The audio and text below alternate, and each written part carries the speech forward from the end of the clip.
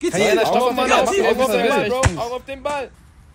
Johnny ist so schlecht, Alter. Bro, steiger nicht so. Du kannst den Ball locker haben, Bro. Ihr müsst Ey, ist Mann. Ihr müsst ist schnell. Mann, Alleine, Digga, ist. Ende. Ey, ich brauch Hilfe hier.